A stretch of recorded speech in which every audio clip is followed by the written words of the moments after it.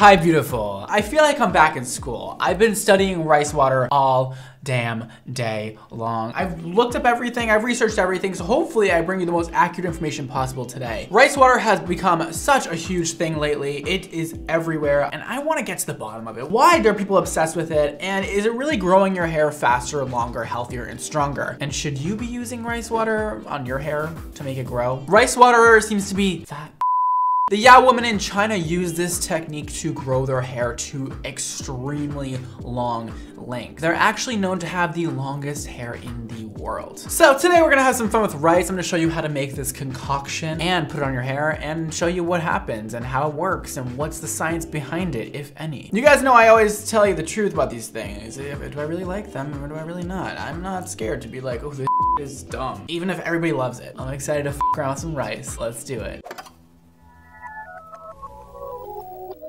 Lesson one, what is this and why is it good for your hair? So rice, it's actually quite a good thing for you. I, I, mean, I eat a lot of rice. However, I've never put it on my hair and it seems pretty interesting. It's filled with amino acids, vitamins B and E, and also minerals and antioxidants. You're getting a moment of a lot of things going on this hair. And a lot of those things are included in many products you use in your hair today. So that's great. I mean, I love a natural way of getting things that have been produced in uh, the hair care market uh, so I think this is cool. It sounds great so far. Everything I've been hearing about the ingredients sound legit. So advocates who use rice water a lot believes that it detangles your hair quite nicely. It also can make your hair very smooth and silky and soft. As you can see in these Yao women, they have very shiny, beautiful black hair, and that's how they claim they keep it that way with this rice water concoction. It also makes hair very, very strong. You can pull it and pull it every which way and it won't snap. It'll be beautiful. That's good for people with any kind of damage in their hair, right? So seems legit. It also stimulates new hair growth and makes your hair grow faster. Those were my findings. And I don't know, sometimes I don't know if I believe that. That seems like a little bit too good to be true for a little bit of rice and a little bit of water. I mean, if you know what I mean. It seems like a little crazy. What do you think, Emma? Yeah, it sounds wild. Can I get the enthusiasm? Oh my god, that sounds unbelievable. Unbelievable. Like that's just unbelievable.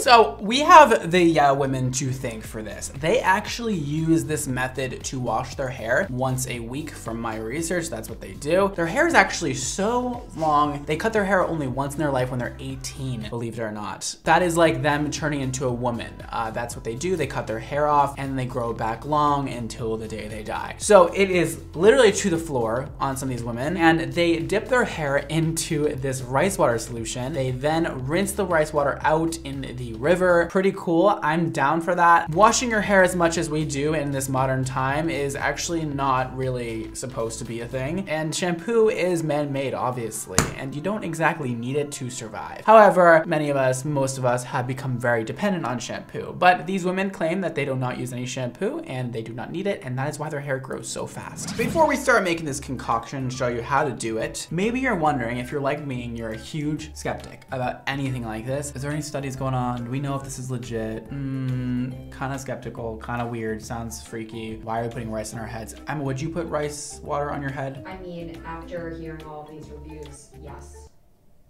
That's a big fat yas from you? Yes. That's a yes for me. Yas or yes?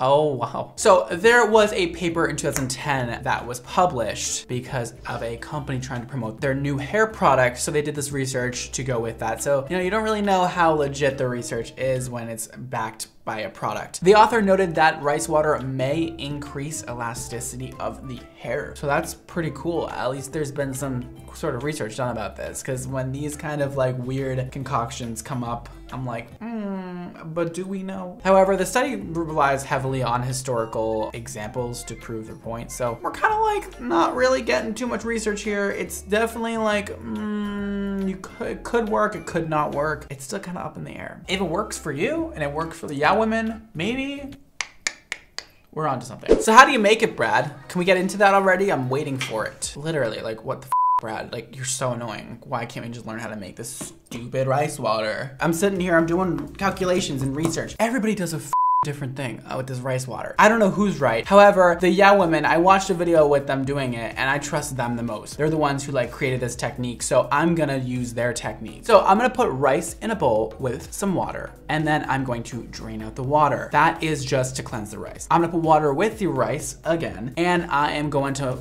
scrunch it in my fingers, clean it all up, and it's supposed to be really, really nice and clean. This is what the Yao women do. After that's done, you can drain that water out. Now, they don't really tell you how much rice and how much water to put in this bowl, but I'm gonna do one part rice to two parts water. Now, this water is gonna be like, you know, lukewarm, like that's fine. They don't really specify either on this, but we're gonna guess today. And it's gonna start to get a little milky looking, a little like a little dirty looking, and we like it like that. Now, the Yao women don't just do the rice with the water, right? A lot of these treatments online, that's what people do. However, people say it stinks. People say it smells really bad. I don't want it to smell bad. And I want there to be more nutrients in here than just some rice. They also add pomelo peel. Um, and apparently the grapefruit is the closest to that that you can find in America. So I'm gonna take the peels of a grapefruit here and I'm gonna cut that up and add all the peels into my little concoction over here. After that, I'm gonna add a little bit of essential oils. You can really add any essential oil you want. I'm gonna be adding eucalyptus today because I want that minty, beautiful smell. And just a few drops will do. Once that's all in the jar, I'm gonna let that sit for one week. According to the Yao Woman, uh, fermenting it is what you must do. That is gonna help lower the pH to make it better for your hair um, because if the pH is too high or too low, it could throw off your hair and do all kinds of ugly to it. So we're gonna let it ferment for one week. You can let it ferment for longer than that, but that is what the Yao Women do. I'm gonna follow the Yao Women because they are here for me today. So once we come back after a week, I'm gonna take it out and I'm gonna strain it. And that is the beautiful magic power water that we've been looking for. That is it. And all you gotta do now is apply it to your head. Now, the Yao women, like I said, they wash their hair with this. So they're not washing it beforehand or after. What I'd recommend is using a very gentle shampoo if you must, just on your roots where it gets kind of oily, not on your ends, nowhere else, and just do a little cleanse. We don't want to get our hair really, really clean before doing this. The purpose is for it to be a replacement of washing your hair, um, according to these women. And so we don't want to overwash it or else it'll really dry your hair once you use the rice water. So once you do that, you're gonna dip your ends in the water and then pour the rest on your scalp and get it all in there and looking beautiful. Now, they also say to leave this on for 20 minutes on your hair. You can leave it on longer, but I would recommend 20 minutes since that is what these women say they do, and I'm going with that. So now you're gonna wanna rinse this off of your hair. Now you can rinse it well, just don't, you know, overdo it. You know, it's okay to have a little bit left on there, you know, get it out. Now, the Yao women use this on their hair to wash it once a week. This is the only thing they use and they use it once a week. So if you're wondering how much you should do this, I would say once a week or once every two weeks. However much you use it, I'm sure you'll see some benefits. So that's how you do it, guys. That's how you make it. And I hope you, um, you try it out. I hope it works for you. And if it does, let me know. Now, might be wondering, Brad, well, I mean, I heard you talk about it. What do you personally think? Would you use this on your hair? I would use it on my hair, yes. Do I recommend it for you? I would say